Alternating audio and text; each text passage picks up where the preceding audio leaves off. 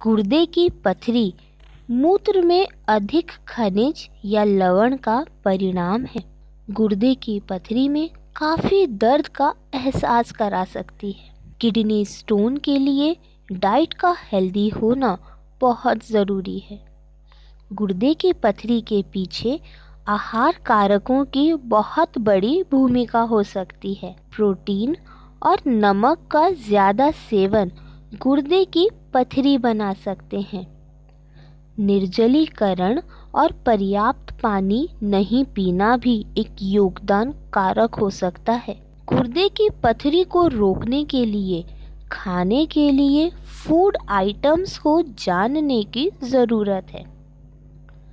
Kidney stone से बचने के लिए फूड्स का सेवन काफ़ी लाभकारी हो सकता है। डैश डाइट भी गुर्दे की पथरी को रोक सकती है।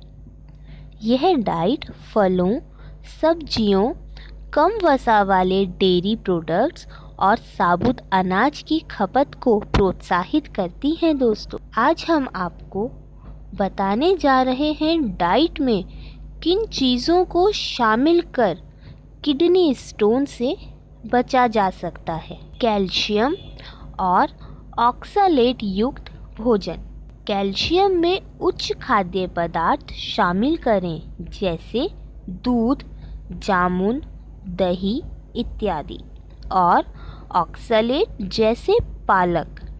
उच्च खाद्य पदार्थों को प्राथमिकता दें। आंतों में कैल्शियम और ऑक्सालेट एक साथ काम करते हैं और गुर्दे की पथरी के गठन को रोकने में मददगार होते हैं। किडनी स्टोन से बचने के लिए इन फूड्स को डाइट में शामिल करें। किडनी स्टोन से बचाव करने का तरीका पूरी तरह से हमेशा हाइड्रेट रहना भी है। अपने आप को पानी से हाइड्रेट करें। आहार में अतिरिक्त पानी शामिल करके आप किडनी स्टोन और यूरिक एसिड दोनों के गठन को रोक सकते हैं।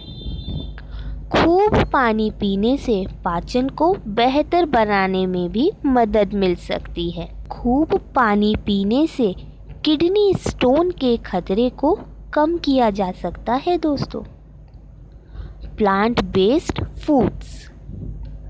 गुर्दे की पथरी के निर्माण को रोकने के लिए प्लांट बेस्ड प्रोटीन स्रोतों पर सेवन करने की सलाह दी जाती है।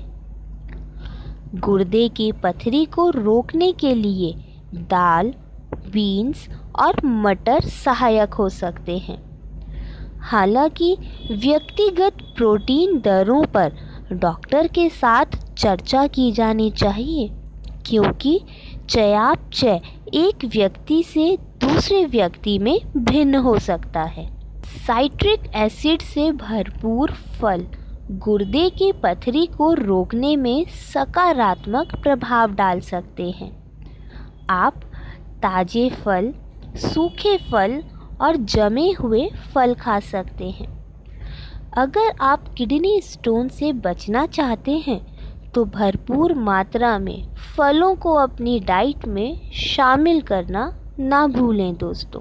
कई तरह की सब्ज़ियाँ किडनी स्टोन से बचाव करने में मदद कर सकती हैं। ताज़ा सब्ज़ियाँ जैसे चुकंदर और पालक। गुर्दे की पथरी को रोकने में फ़ायदेमंद मानी जाती हैं। आप कैल्शियम युक्त खाद्य पदार्थों के साथ सब्जियों को भी डाइट में शामिल कर सकते हैं।